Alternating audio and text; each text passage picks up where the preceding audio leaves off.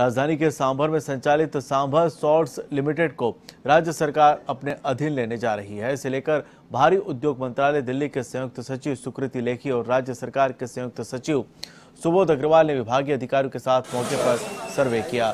साथ ही सांभर सॉल्ट क्षेत्र का भी दौरा किया। साथ ही सुबोध अग्रवाल ने सांभर कस्बे में संचालित सामुदायिक स्वास्थ्य केंद्र का भी निरीक्षण किया और चिकित्सा प्रभारी को अहम निर्देश भी दिए।